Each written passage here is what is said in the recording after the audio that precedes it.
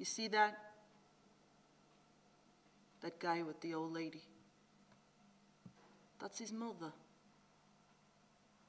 They're in there three times a week. Sometimes he comes in by himself just to get us some cheesecake. You know what it would take to get one of my brothers to do something for my mother? She'd have to be held hostage by terrorists. I'm not kidding. Nine brothers, none of them do squat.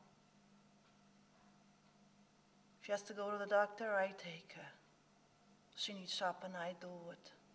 She wants to visit somebody, go to a wedding, go to a funeral. It's me, me, and me. I don't mind, but come on.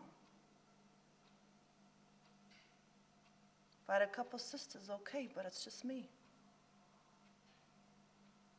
Plus, because I'm divorced and got no kids, sky's the limit.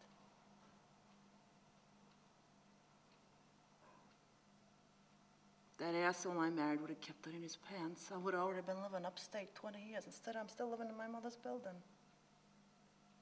What? Please, the wives are as bad as my brothers. Last time we were at Emilio's, I grabbed his wife Lorraine to the side. I wanted to try to get my brother to do the right thing, right? So I say to her, Lorraine, you know, Ma's not doing so good. It would be nice if you guys came by, you know, for a visit. So she says to me, Oh, sure.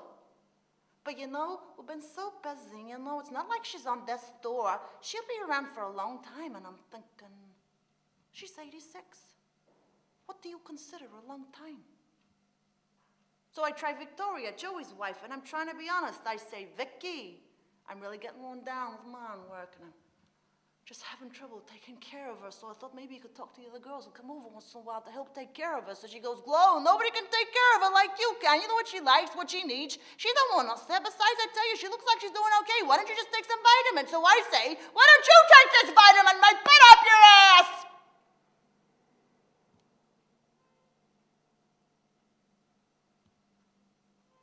No. But I wanted to. I was just so pissed.